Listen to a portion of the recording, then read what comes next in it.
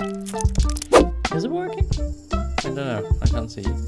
Doesn't matter. Hello guys and welcome to this little tutorial in which I will show you how you can animate a little faster, a little more efficient. Uh, it doesn't matter if you're animating just bolts like I do, or if you're animating a proper character, so like Jimmy in my setup video. It will pretty much help you anytime animating stuff, especially when you're working with replacement animations, which I do. Uh, in my case, I'm replacing eyes. Just eyes, that's it, pretty much. Um, yeah, and I'm going to show you how to do that a little more efficient. Uh, what I'm going to show you is how you can use a box like this, in this case it's a null object, uh, to animate the eyes, so to move the eyes and, and make them transparent, where is it, there it is, uh, and all that stuff and how you can make, you know, how to, you can give the impression of a head turn on a 2D object. It's not that simple, at least for me it wasn't very simple because I can't think apparently, um, but I will show you how to give that impression. And to do that, we're gonna create a new folder. And yes, it's bad hair day for me. It's Sunday, and Sunday is usually a bad hair day for me. Deal with it. So what I just did, uh, I used the PSD file because I created all of my bolts in Photoshop and I imported that into the tutorial folder. So over here and a little box pops up, says, do you want to import it as a composition retain layer size? Yes, we want that. And we want to have the editable layer styles. Then you hit OK and there it is. What that did, uh, it imported the single layer of that Photoshop file and created a composition for you already. And you want to double tap that with your mouse. And there you go. There's your layer, um, your Photoshop layer, and that's it. And now we need our eyes, obviously. I have imported them previously. I won't use all of the eyes now in this tutorial. Let's say I want to use the sad eyes and the angry eyes probably, and the normal angry eyes. So those four pair of eyes. And you want to put them above the ball, so above the background object. And I also like to put my normalize at the very bottom. And what you're going to do now is you make all of them invisible. So you can only see your normalize because they will give your, uh, you the orientation for the, um, for the proportions. And you highlight that layer. You hit S on your keyboard. That will bring up the scaling option for that object, in this case for the normalize, and you want to rescale them a little. Uh, now it's totally up to you what you like. Uh, so the the scaling and how big they should be, that's totally up to you. You can make them that big if you want. Doesn't make sense, but you could do that. I want to have them 46%. Yeah, that's alright. I think I keep it like that. Very important step now. Um, before we do the scaling with all the other eyes, uh, you want to move the anchor point somewhere or somewhat into the middle of that, those eyes. So somewhere into the middle of those two eyes. Um, I will explain in a second why. We're gonna, yeah, we're gonna, we don't do that for one pair of eyes. So you will see what I mean or why that's necessary. And I won't bother you with all the scaling right now, um, so I'll probably do a time remap. Um, is that alright? Oh, that's a little too small. Let's make it a little bigger. Okay, looks somewhat alright. Um, obviously you need to invest some more time in it than I did right now. And you want to do the anchor point again. Okay, pro tip from me, um, highlight the normalize and then use guides to mark the position of that anchor point. How to use guides? Uh, you just hit Control R on your keyboard and that will bring up that thing I've forgotten the name of in English. And when you hover with the mouse above it and then just click and drag down, then you will get a guide. And as you can see, uh, we have marked our anchor point right now of those normal eyes, and we're gonna do that. And we're gonna move the anchor point of those normal angry eyes to the very same position. And now I do the time remap. Okay, so we have done the scaling for each pair of eyes. We have moved the anchor point to the middle apart of the anchor point of the sad eyes. We're not going to move that because then you will see why why it is so necessary to do that. Why it is so necessary to align all of the anchor points of every single pair of eyes to the very same position. You're gonna see that. So the angry eyes, anchor point is in the middle, normal angry eyes, anchor point is in the middle, normal eyes, anchor point is in the middle. And what you want to do now is you want to click on the on the empty space, right click on it, then click on new and create a null object. Um, that null object will be the controller. And you want to move that into the middle too. And then press Y to move the anchor point and you want to move the anchor point to the middle where all of the other anchor points are. Cool. Next up you want to, or you probably want to rename it. We're gonna call it eye controller.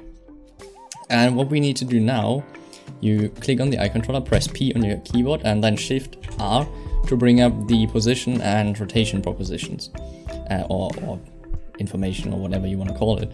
And you're gonna do the very same for the eyes again. However, there's an additional step needed for the eyes because you need to go to, over to the stopwatch, click Alt, and then click on it on both of, of them. What that will do, it will bring up the expressions um, of those propositions. So the expression of the position and the expression of the rotation. And now you want to pick it, pick whip it, I'm sorry, to the rotation of the eye controller and do the very same for the position. However, then you're to pick whip it to the position of the null object, obviously. And that's it. We're done. Um, okay, we're gonna do that in a second. And you're gonna do that for all of them. I just time remap it.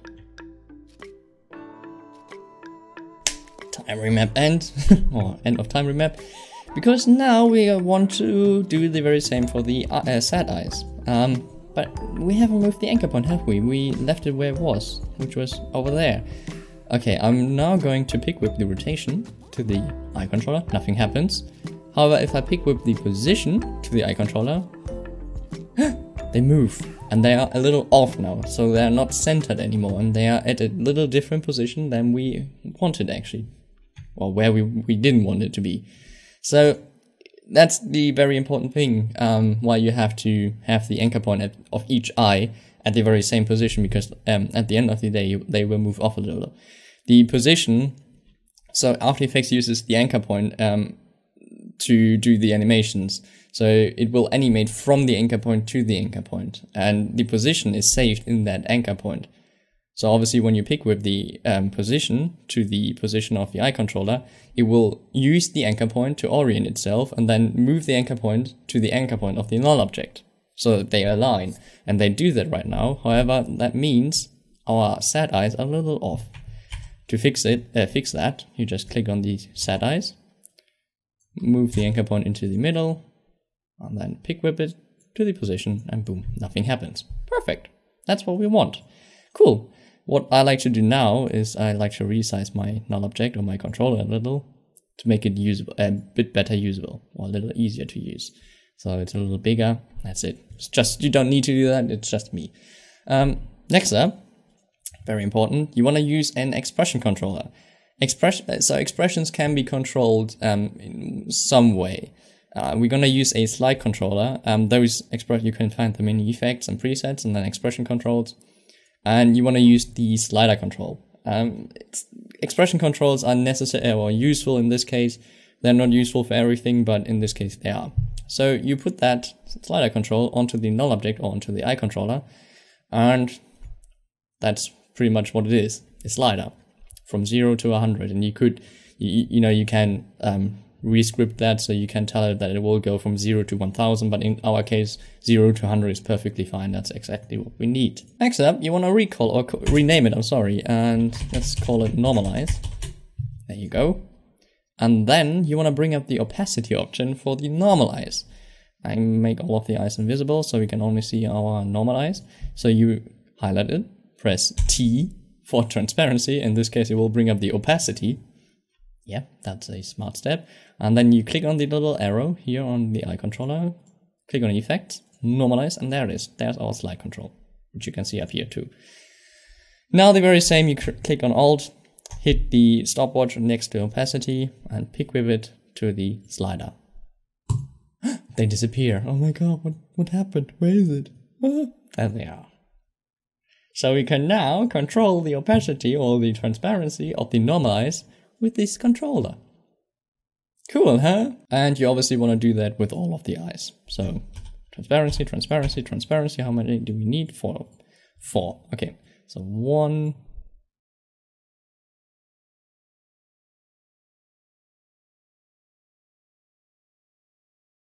Alright, so if you are still here with me, um, you can now see that we can control our the transparency of our eyes from up here. And the cool thing about it is uh, you don't have keyframes on each separate layer anymore. You only have your keyframes on one layer.